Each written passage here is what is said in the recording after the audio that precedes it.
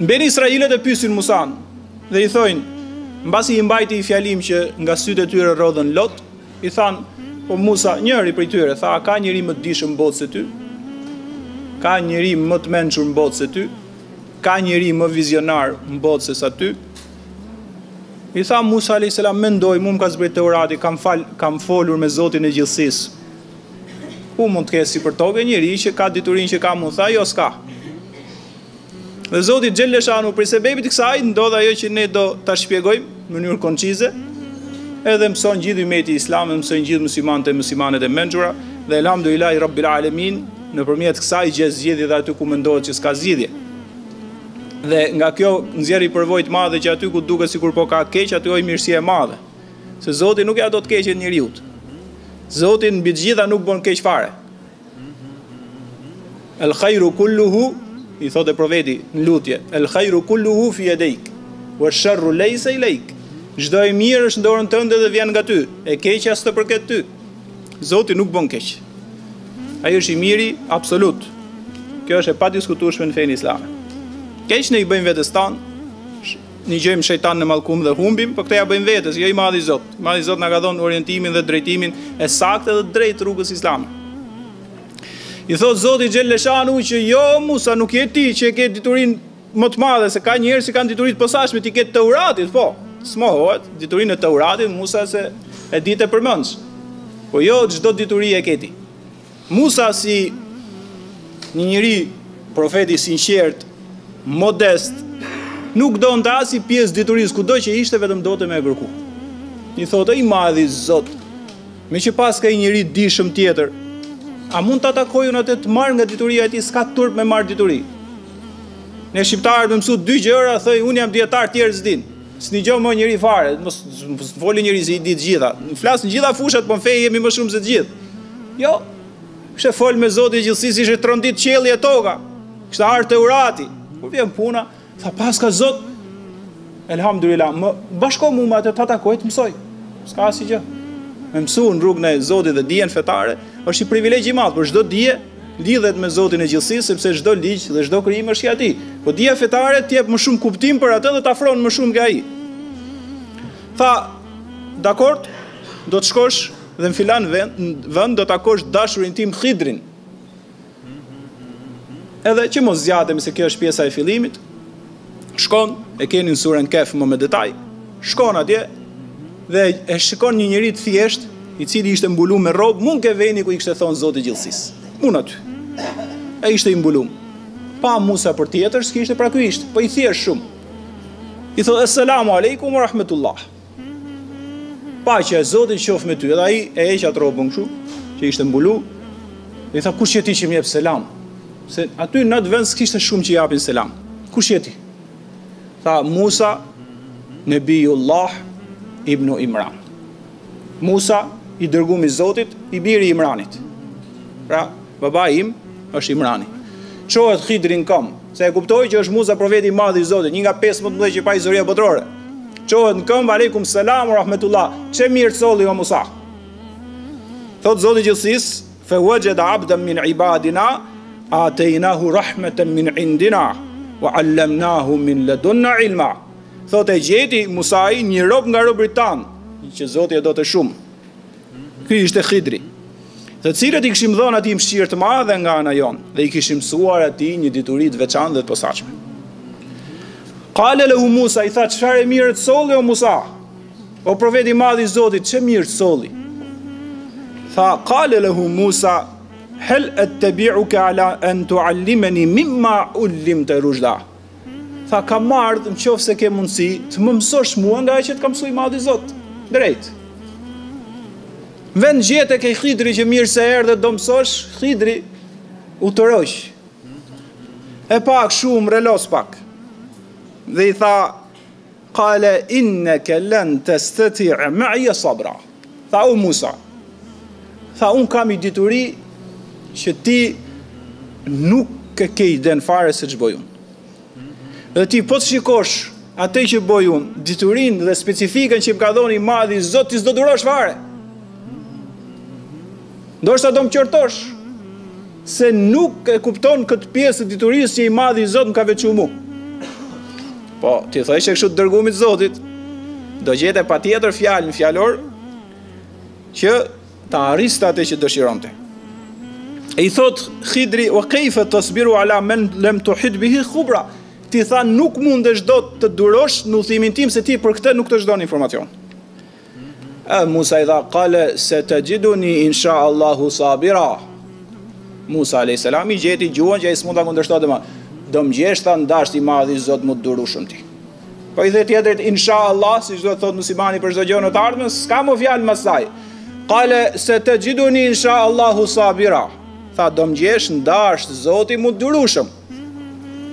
Wala asi leke emra Dhe meqë e paske kaq merak se unë s'e kuptokam Unë do t'jem nxënësi jot do të dëgjoj ty për çdo gjë që do bësh ti Profeti madh ishte më i mirë ke zoti dhe më afer se sa khidri s'ka problem Për këtë çështje tha unë jam nxënësi jot La asi leke emra Nuk do të kundërshtoj për asnjë detaj të asaj që do bësh ti vetëm du të mësoj Edhe nisen me udhëtu, ulen në bregun e detit. Dhe i tha, Hidri Musait, erdi i zog aty, i shpend dhe mori një pikë uj nga deti.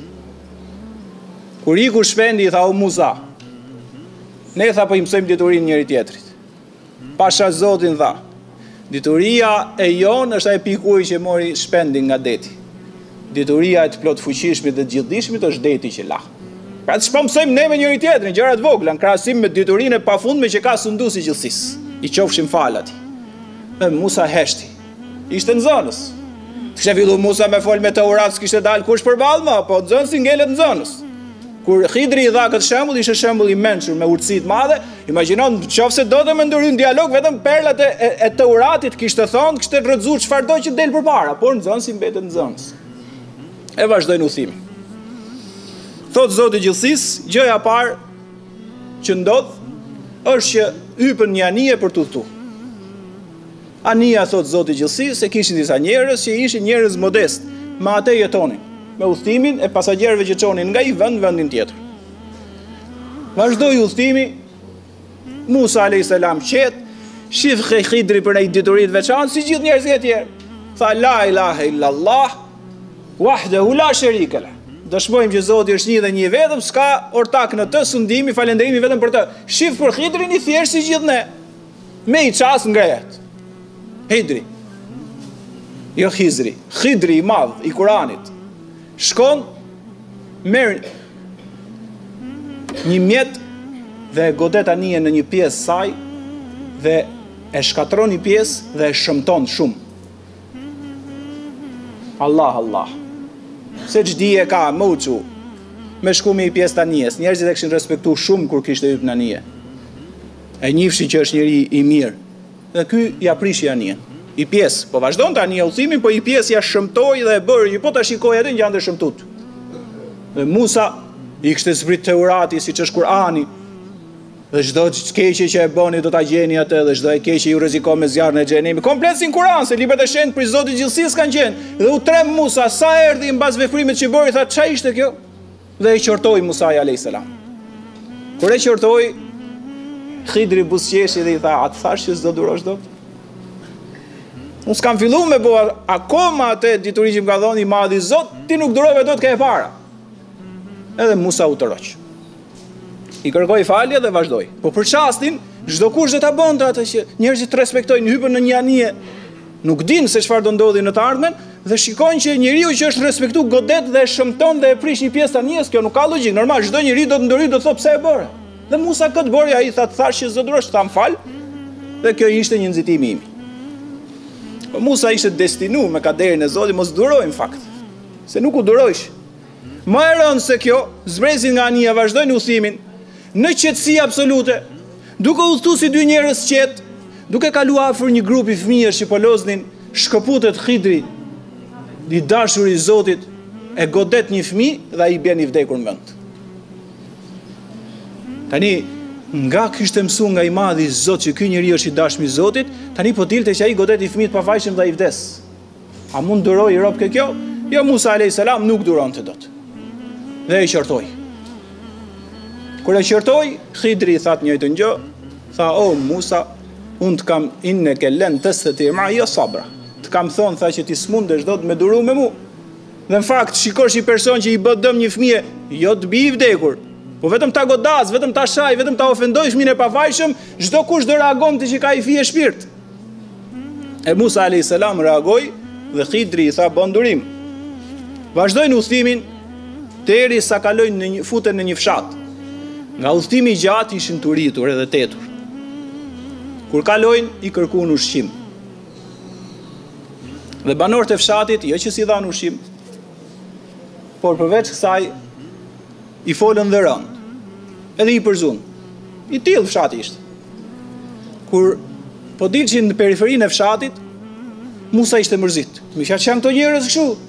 As modest, as altruist, as bamirës, as njerëzorë, meqë s'japin ushqim, po edhe të ofendojnë, edhe të shajnë, edhe të flasin vrazhd. Dhe sa po kalojshin shpinë e fundit, khidri ndalon. Shikon një shpi të vjetër. Shikon një mur që po rrëzohej.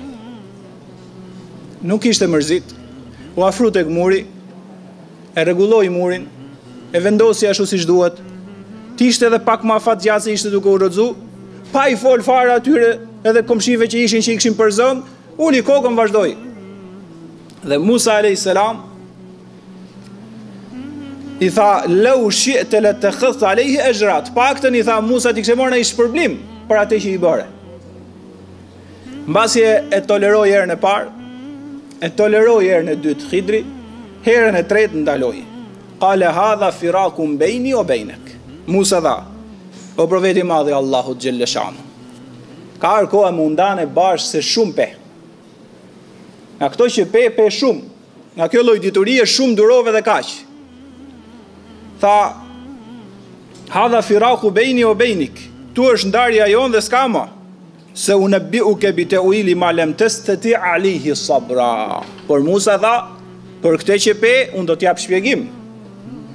Dhe kur të të jap shpjegim, ti do kuptosh atë që ka ndodhur, po më nuk mund të vazhdojmë dot bashkë. Se ti kaq dhe durove shumë, nuk duron dot më më tej. Se kushedi ç'do ndodh andej. Siç ka thënë profeti alayhis salam kur i ka ardhur surja Kehf dhe kjo, Mbasi është shpjegu dhe ka mbaru këtu ka thënë ah, të kishte duru Musa dhe pak, të kishim pa se ç'do ndodhë, nga dituria, nga urësia të madhit zot me njerëzit e vet. Por i tha do të lajmëroj dhe do të shpjegoj unë ty se çfarë ishte si ide kjo që ndodhi. Tha, emma sefinetu fekanet li mesakine ja me ja me lune fil bahri fe eradtu en eibeha ue kane ueraehum melikun jakhudhu kul-le sefinetin nga Tha, Musa, S'ke faj që s'ke duru, se më pe çuditshëm që u çova dhe e godita anijen, e prisha një pjesë t'saj, e shëmtova pjesën tjetër, që po ta shikoje atë, asnjë pasagjer s'hypte më. Kështu, tha Musa po, tha dëgjo. Më lajmëroi i madhi Zot. Më informoi i gjithdijshmi që përpara kishte dalë një sundues me ushtrinë e madhe të tij detare. Dhe në psikologjinë e këtij zullumqari të madh që e dinte Zoti i gjithësisë dhe nuk e dinte Musa dhe nuk e dinte as ai që kishte në zotërim anijen dhe nuk e dinte askush përveç atyre që kishte dash i madhi Zot që në psikologjinë vrasëse kriminale të këtij mbreti që ishte zullumqari i deteve dhe i piratëve të deteve ishte që e donte anijen që zaptonte dhe konfiskonte të re të akullt pa të meta pa shëmti Tha e shëmtova pak që mos ta merrte ai se këto ishin njerëz të varfër e kanë për të jetuar anijen prandaj unë e bëra me të meta kur ta shifte zullumqari mos ta merrte atyre t'i vazhdonte tregtia të hajshin ushqimin dhe bereqetin e Allahut që ja ka caktu qetësi e madhe ke Musa alayhis salam se se nuk kishte faj kush e dinte kush e di n'det ti kur hyn n'plazh n'det din çka ande nga ana tjetër si se din Jemi këtu në xhami, s'dim aty çfarë ndodh ke rruga. Por besojmë në atë që din gjithçka. Prandaj ec drejt. Kur ec drejt është bekimi i madh i Zotit i qofshim fal. Po ece mirë. Ke Zotin që din gjithçka, mos u mërzit për asgjë. E ke mirësinë dhe bekimin aty me vete. Alhamdulillah sot jemi në xhami, i qofshim fal Allahut tonë. Kjo është.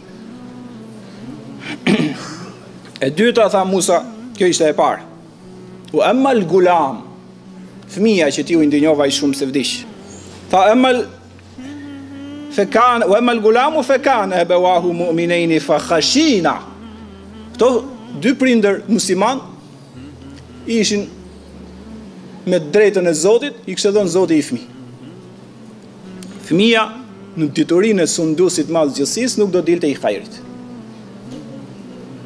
Dhe duke mos qenë i hajrit, si thonë më mirë djepi bosh se djalli n'të. Sa kanë vujt njerëzit nga fëmijët, Allah, Allah. Me pas fëmijën për shembull që është fut të themi në botën e bixhozit. Vetëm kur shikon një ditë ka shit shpinë. Vetëm kur shikon një ditë t'ka shit ty. Ka shit babën, nanën, ku të çon bixhozi. Di unë për shembull njëri. Dolën për të pi kafe, gjithë familja dhe ky tha t'iki para kishte shku kishte marr televizorin në shtëpi e kishte shit për të lujt. E po të arriti fëmija në këtë derexhe, më mirë mos të kesh fare. Më mirë djepi bosh se djalli n'të. Zoti i gjithësisë, me diturinë e vet e dinte që ky do, do bënte dy zullume të mdhaja ndaj prindërve e para do u sillte keq do t'i dëmtote do t'i godiste dhe e dyta mund t'i çonte deri n'mosbesim. Se duke u plak prindrit, duke u rrit fëmija zullumqar, ndikon pastaj dhe n'jetën e tyre deri n' besimin e tyre. Dhe Zoti thotë, Çfarë ndodh? Ia mori këtë. Ky ishte rasti që e goditi Hidri, po tjetri vdes në mënyrë natyrale, tjetri vdes me aksident, tjetri vdes në mënyrë, tjetri vdes me smundje. E rëndësishme është që Zoti kur e merr fëmijën ka urtësi pafund. Këtu nuk janë gjithë urtësitë pse merret një fëmijë. Këtu është vetëm një nga urtësitë se pse ikën fëmija nga kjo botë. Nuk janë të gjitha këtu ne s'kemi kohë t'i shpjegojmë. Ka 50 urtësi pse ikën një fëmijë nga kjo botë, ne po shpjegojmë vetëm një. Ky ishte fëmijë që do dilte zullumqar, ka një fëmijë që do ishte i mirë dhe shkon në xhenet direkt si fëmijë. Ka një milion e një, tha profeti alejhi selam, thotë Zoti kur i vdes një fmi, i thotë engjëjve që e marrin, a ia morët frytin e zemrës, esencën e zemrës prindërve, pra fëmijën e quan fryt i zemrës, tha po, çfarë tha, tha inna lillahi ue inna ilejhi raxhiun, të Zotit jemi, edhe fmija i Zotit ishte, e mori kur desh, te ai do kthehemi, tha shpejt, me urgjencë, me shpejtësi, jep urdhër engjëjve, në xhenet, shko, një shpi të madhe bëjeni dhe quajeni shpia e falënderimit, se ky njeri meriton falënderim. Pra ka një milion e një urtësi. Po ne po japim vetëm një urtësi që e shpjegon Zoti në surën Kef në këtë që ne po flasim, dhe çfarë thotë i madhi Zot për të treguar mëshirën e pakufishme që ka? Thotë dëshiroi Zoti t'ia marrë këtë që e goditi Hidri, po t'ia kompensojë me fëmijë të tjerë që do të ishin të butë, të këndshëm, të ëmbël, të mirë me erën e trëndafilit që ka fëmija dhe bereqetin që ka respektues të pafund ndaj prindërve të tyre, Jo më për t'i çunë në mosbesim, por për t'i çunë në besim dhe në mirësi, për t'ia puth duart dhe për t'ia puth faqet dhe për t'ia puth kokën e tyre për t'i nejtë afër, për t'i qenë përkrahje. Prandaj ndodh kjo. Dhe Zoti dha, dhe edhe mbas kësaj i dha fëmijë atyre, dhe ato jetuan një jetë të këndshme, se ishin besimtarë, ishin n'kujdesin e të madhit Zot. Ngeli Musa prap. Tha sa kam gabu. Sa gabojmë ne në jetë kështu pa fund gabojmë ne. Ne gabojmë për çdo gjë që na ndodh ne direkt ankohemi o Zot pse këtë. Ajo ka mirësi brenda saj. Dhe e fundit për ta mbyll murin. I tha Musa po muri o Khidr. Tha muri ka qenë i një babi të mrekullueshëm. Edhe kur i erdhi exheli afër e pa që do vdiste, e vendosi thesarin që kishte, ato tulla që kishte, i vendosi poshtë që mos t'ia gjeshin. Se ai fshat t'keq pat, ju i largonte profetët, largonte t'dashmit e Zotit. E kishte vendos thesarin poshtë dhe i kishte thonë, o Zot i madh, unë po jap shpirt, ruja atë e fmijve. O Zot i madh, kam besu gjithë jetën te ty, ta gjenë fmijt e mi atë. Dhe Khidrin e lajmëroi Zoti që është duke ra muri me u shfaq thesari, do e gjeshin zullumqarët, tha ndërtoja atë se do vij koha ta gjenë fmijt, rriten dhe pak. E unë tha prandaj ia ndërtova. O Musa i tha, e mylli Khidri, o Musa i tha. Unë çdo hap, çdo çast, çdo frymarrje e pata nga zoti im, jo nga vetja. Por, ti nuk je fajtor për atë që nuk e kuptove. Dhe vllezër motra t'nderuara ju begatoftë i madhi Zot, kjo është esenca e kësaj, mos u mërzit. Nuk bën keq zoti, nuk po donte të keqen s'na krijonte fare. Po të na donte të keqen s'na bënte ne besimtarë. Nuk i don të keqen askujt Zoti i gjithësisë është i panevojshëm për çdo kënd. Ajo që don ai është t'kuptojmë ne. Dhe kjo histori na jep me kuptuar që edhe ajo që duket më e keqja në jetën tënde ka mirësi pa fund brenda saj. Dhe ajo gërvishtje e jetës që të vjen nga çdo anë, dije se ajo është vetëm një gërvishtje për t'rujt jetën tënde dhe komplet trupin tënd. Kështu që lusim Zotin Xhelleshanu të na bëjë nga besimtarët e mirë dhe të kuptueshëm dhe me diturinë e duhur. Amin ya rabbal alamin.